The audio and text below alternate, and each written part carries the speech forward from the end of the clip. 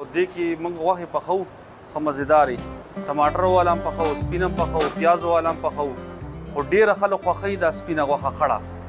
نو دا مونږه چې کوم دی کچا هلته کټ کېږي کچا او هغه راواچوو مونږه بیا دلته مونږ کوکر کې دی له جوش ورکو ښه مزیدار نرم یې کړو بیا د هغې نه پس موږ کړۍ کې دا واچوو. کړۍ کې چې واچوو بیا ورسره شین مرچکی واچوو، تور مرچ لږ واچوو، دې له دا اوبه دا خړې دا لږې برابرې کړو، دا سلیخناک راځي لکه د دغه غوندې سلیخ چې وکړي نو هغې نه پس موږ چې دا ګاګ ته پیش کوو.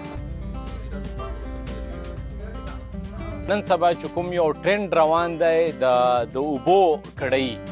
نو د اوبو کړۍ یو ځان له یو ټیز غوندې دی چې په دې کې چې څومره شینواري دي افریدي دي د ښار خلک دي پېښور خلک دي چې سیمې د چاپېرچل کې څومره خلک دي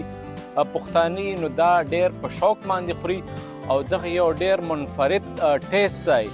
گو چی دوریتی ځان له یو ټیست دی پټو دانو ځان له یو ټیست دی نور به چې کومه کړۍ به په ټماټرو کې به پخېده هغې ځان له یو ټیست دی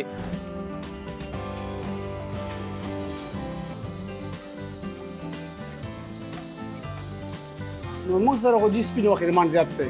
سپین خلک ډیر هم خوښ دي سپین زی کم خي مزیدار می قسم خي او ته ټماټر وخه مزنی او هم د کور ترکاری ده څنګه خلک کور ترکاری پکې ټماټر پکې شي شي او زمنګ د پاره ټیس سپین وخه دا خو یې فیمی مزیدار می او نور نسبت ته ټماټر وخه دې ریټ هم ګران دي 200 روپۍ دا اوس ټماټر وخه موږ ورکو 2000 کې دا خرڅو 2200 کېږي دې وجې نه خلک وخیم کو او شکل یې مزیدار وي خو چونکې ټول ټیسټونه خلکو وکاته اوس دې چې کومه د اوبو کړۍ او دې چې کومه ذایقه ده نو دا لا جواب ده ګو چې په دې باندې پخولو کې هم ټیم لګي هغې نه لږه په قیمت کې هم سیوا ده خرچه زیاته په راځي خو مطلب دی چې سړی خوراک ته کینی او کله بیا خوري نو بیا پته لګي چې زما پیسې چې کوم دي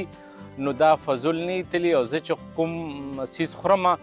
نو دا انتهایی لګه خالص خوراک دی